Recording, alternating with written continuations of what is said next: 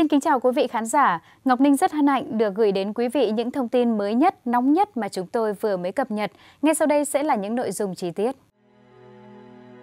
Theo thông tin từ Việt Nam Plus, phiên tòa xét xử vụ án chuyến bay giải cứu đã tạm khép lại với bản án dành cho 54 bị cáo về các tội đưa hối lộ, nhận hối lộ, môi giới hối lộ, lừa đảo chiếm đoạt tài sản và lợi dụng chức vụ quyền hạn trong khi thi hành công vụ. Đây là vụ án thu hút sự quan tâm chú ý của dư luận xã hội trong và ngoài nước bởi hành vi vi phạm pháp luật đặc biệt nghiêm trọng của các bị cáo diễn ra trong bối cảnh dịch bệnh hoành hành. Nhiều bị cáo từng giữ chức vụ cao. Vụ án thể hiện sự quyết tâm xử lý tội phạm tham nhũng, không có vùng cấm của đảng, nhà nước. Quá trình xét xử vụ án chuyến bay giải cứu, nhiều nội dung, tình tiết và hành vi của các bị cáo đã được làm sáng tỏ và minh bạch cho thấy sự trục lợi của các bị cáo trong thực hiện chính sách nhân đạo của nhà nước. Trong cơ chế ngầm, đưa, nhận hối lộ và các hành vi liên quan, các cơ quan tố tụng đã sử dụng một cách thuyết phục những chứng cứ trực tiếp và gián tiếp để khẳng định hành vi vi phạm pháp luật của các bị cáo trong vụ án. Bản án sơ thẩm nhận định đây là vụ án đặc biệt nghiêm trọng, phức tạp, trong đó nhiều bị cáo bị truy tố xét xử về tội đặc biệt nghiêm trọng hành vi mang tính chất nguy hiểm cho xã hội. Một số bị cáo chưa thành khẩn khai báo, không ăn năn hối cải. Hành vi phạm tội của các bị cáo gây bức xúc trong xã hội, bất bình trong quần chúng nhân dân, ảnh hưởng xấu đến uy tín của các cơ quan nhà nước. Hành vi nhận hối lộ của các bị cáo trong vụ án này xảy ra ở nhiều bộ, ngành, địa phương khác nhau. Các bị cáo đều là những người có chức vụ, quyền hạn trong bộ máy cơ quan nhà nước, được phân công giải quyết công việc thuộc chức trách nhiệm vụ của mình nhưng không thực hiện đúng kỷ luật công vụ, lợi dụng vị trí công tác, lợi dụng hoàn cảnh dịch bệnh, nhiều lần nhận tiền, lợi ích vật chất từ đại diện các doanh nghiệp, cá nhân để hưởng lợi bất chính. Các bị cáo thực hiện hành vi phạm tội bằng cách nhũng nhiễu, gây khó khăn, tạo ra cơ chế xin cho, buộc đại diện các doanh nghiệp phải đưa chi phí bôi trơn, đưa hối lộ để được cấp phép các chuyến bay.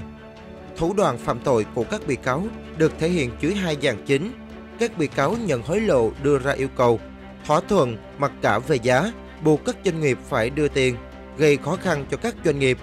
Thực hiện không đúng, không đầy đủ trách nhiệm công vụ của mình, mập mờ, không minh bạch trong việc thẩm định, đề xuất, duyệt cấp phép các chuyến bay, dẫn đến các doanh nghiệp phải chi tiền theo luật bất thành văn thì mới được cấp phép thực hiện chuyến bay. Xin chủ trương cách ly y tế một số bị cáo phạm tội có tính chất đồng phạm, thông đồng và thống nhất chia sẻ số tiền nhận hối lộ. Các bị cáo Trần Việt Thái, Nguyễn Lê Ngọc Anh, Nguyễn Hoàng Linh, Đặng Minh Phương, cựu cán bộ, nhân viên Đại sứ quán Malaysia đã tổ chức thu tiền của thân nhân những người mãn hạn tù và những người bị lưu giữ trong các trại chờ tại Malaysia vượt quá chi phí thực tế, ghi hóa đơn, biên lai like không đúng mức tiền đã thu sử dụng số tiền đã thu vượt quá quy định, gây thiệt hại số tiền hơn 10 tỷ đồng cho những người nộp tiền. Hội đồng xét xử đánh giá hành vi của các bị cáo là rất nghiêm trọng, ảnh hưởng xấu đến uy tín, hình ảnh của cơ quan đại diện ngoại giao Việt Nam tại nước ngoài nói chung và tại Malaysia nói riêng, phải xử lý thích đáng. Đối với nhóm bị cáo đưa hối lộ, bản án sơ thẩm đánh giá với mức độ tìm kiếm lợi nhuận, nhiều doanh nghiệp cá nhân đã thực hiện hành vi đưa hối lộ cho những người có thẩm quyền trong cơ quan nhà nước nhằm được tạo điều kiện trong việc xin chủ trương cách ly y tế, xin cấp phép tổ chức chuyến bay. Hành vi của các bị cáo là vi phạm pháp luật, xâm phạm hoạt động đúng đắn của các cơ quan nhà nước, ảnh hưởng xấu đến hoạt động công vụ. Việc đưa hối lộ, môi giới hối lộ của các bị cáo xảy ra tại các bộ, ngành trong tổ công tác Nam Bộ đã làm giảm sút uy tín của các cơ quan hành chính nhà nước tại Trung ương và các cơ quan đại diện ngoại giao Việt Nam ở nước ngoài. Một số bị cáo đưa hối lộ để được cấp phép chuyến bay, sau đó bán giấy phép để trục lợi.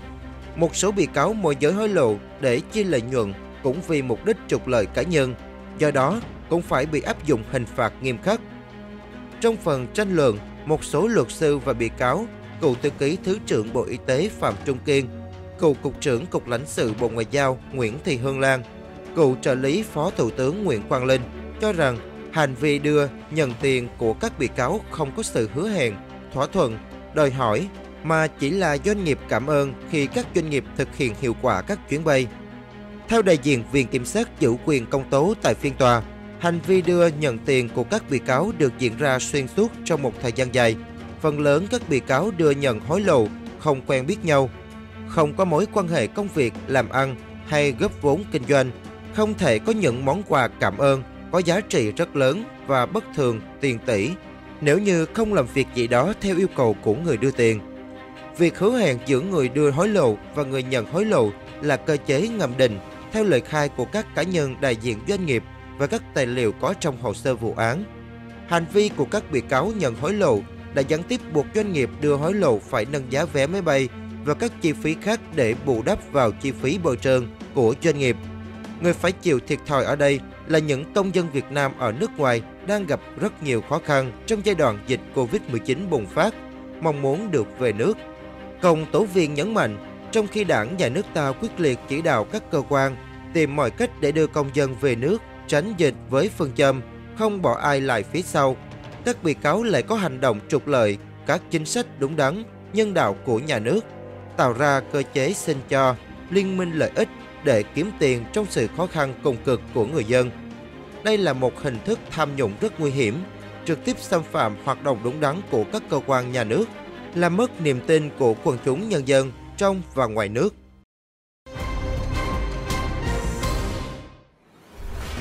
Cũng theo thông tin từ Việt Nam Plus, trong số các bị cáo, Hoàng Văn Hưng, cựu trưởng phòng 5, Cơ quan An ninh Điều tra Bộ Công an, là người liên tục kêu oan, không thừa nhận nội dung cáo trạng cáo buộc bị cáo đã lừa đảo chiếm đoạt 800.000 đô la Mỹ của Nguyễn Thị Thanh Hằng, Phó Tổng Giám đốc công ty Blue Sky.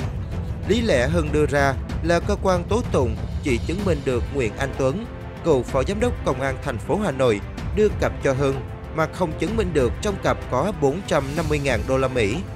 Hưng cho rằng cơ quan tố tụng chưa đủ chứng cứ đã buộc tội Hưng lừa đảo chiếm đoạt tài sản là vi phạm nguyên tắc suy đoán vô tội. Trên thực tế, việc đưa nhận tiền trong các vụ án, nhất là việc đưa tiền trực tiếp nhằm mục đích che giấu hành vi khác, rất khó tìm được chứng cứ trực tiếp, trừ trường hợp bắt quả tang. Việc đưa nhận tiền thường được tiến hành một cách kín đáo, tinh vi. Để chứng minh cho hành vi đưa nhận tiền này, các cơ quan tố tụng thường sử dụng hệ thống chứng cứ gián tiếp thông qua lời khai của bị can, bị cáo và những tài liệu khác chứng minh nguồn tiền, mối liên hệ giữa các bên. Việc quyết định công nhận lời khai nào là phụ thuộc vào tính hợp lý, sự logic và thống nhất trong lời khai của từng nhóm bị can, bị cáo. Cụ thể, trong vụ án chuyến bay giải cứu, bị cáo Hoàng Văn Hương cho rằng lời khai của Nguyễn Anh Tuấn, Nguyễn Thị Thanh Hằng và Lê Hồng Sơn, tổng giám đốc công ty Blue Sky là không khách quan, sai sự thật, có sự bàn bạc, thông đồng trước với nhau. Trong khi đó, theo đại diện Viện Kiểm sát, trong suốt quá trình điều tra, Sơn, Tuấn bị tạm giam tại các trại tạm giam khác nhau. Hằng được tại ngoại, không có sự liên hệ nào, gia đình không được thăm gặp, không được tiếp xúc riêng với luật sư, nhưng lời khai đều thống nhất với nhau về hành vi của bị cáo.